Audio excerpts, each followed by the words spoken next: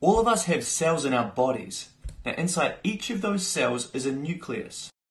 And you can see inside this nucleus, there's small worm shaped looking things. Now, these are called chromosomes. If we take a closer look at a chromosome, we actually see that it's a coiled up strand of DNA.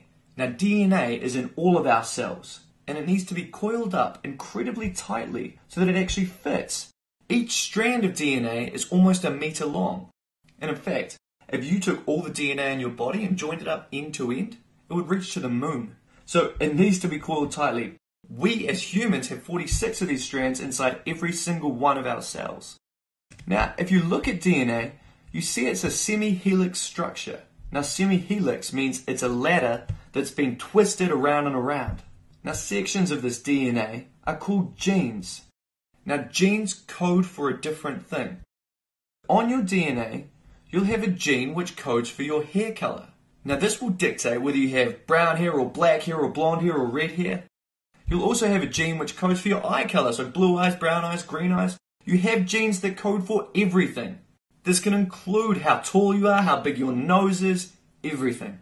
But how does a gene tell our body what to do? It's because every gene has a code on it. Now, these codes are the rungs of this ladder that's been twisted around. Now, the code is made up of four different bases, is what they're called. Now, these bases, these codings, come in four letters A, T, G, and C. So let's say that this section along here was the code, the gene, for your hair color. ATGC might be one code and that might give you brown hair. But if we change that code a little bit to say ATTG, that might now give you black hair. See, this is still a gene, it's still a section on your DNA that codes for your hair color, but because we changed the individual code, we changed what physical characteristic you had. Now, this means that DNA is a genetic code for your body. It's made up of lots and lots of genes which code for all of your physical traits. It tells your body what to do. Now, we know that it's a genetic code and it gives us our physical characteristics.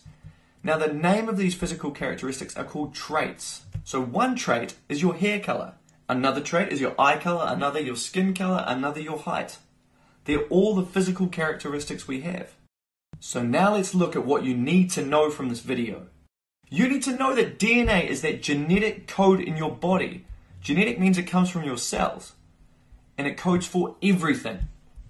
DNA is made up of these bases, the A, G, T, and C. These code for everything, and the different types of bases will give you different traits. Now, a chromosome is a strand, big strand of DNA that's been coiled up really tightly so that it actually can fit inside a tiny nucleus. A gene is a small section of that DNA that codes for a particular trait. So one will code for your hair color, your eye color. Now, a trait, remember, is that physical characteristic. So your eye color, your hair color, that is the trait. That is what you physically look like because of this different code.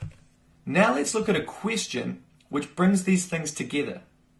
So here, one trait of these two plants is the color of their leaves. Now we need to discuss how DNA gives these plants their individual features. In the answer, we need to explain the relationship between genes, DNA, and chromosomes. Now, just so we understand what's going on, having a look at this picture, there is genes and DNA, chromosomes inside every one of these plant cells. So if we have a look, we know that these genes are made up of the bases of A, T, C, and G. One combination of these bases, say ATTCC, might be yellow leaves. Another combination might be green leaves. Okay, now that we understand that, we can look at how it fits together inside these cells.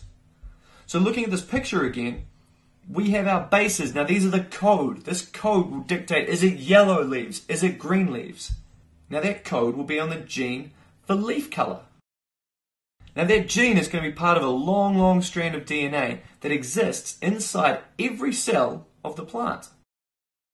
So we've got our DNA broken up into genes.